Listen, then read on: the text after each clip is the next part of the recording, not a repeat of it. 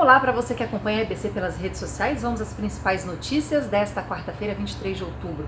O Supremo Tribunal Federal retoma hoje o julgamento sobre a prisão em segunda instância. Os ministros vão definir o momento em que uma pessoa condenada poderá ser presa, se após condenação em segunda instância ou se somente quando se esgotarem todos os recursos. O julgamento começou na semana passada. E o Senado Federal retoma hoje a votação dos destaques depois da aprovação em segundo turno do texto base da reforma da Previdência.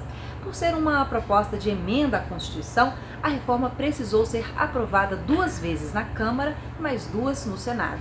O texto não precisa ser sancionado pelo presidente. O projeto agora precisa ser promulgado pelo Congresso e assim que isso acontecer, alguns pontos da reforma já entram em vigor. Continue nos acompanhando pela TV Brasil, pelas rádios EBC e também pelas nossas redes sociais. Até a próxima!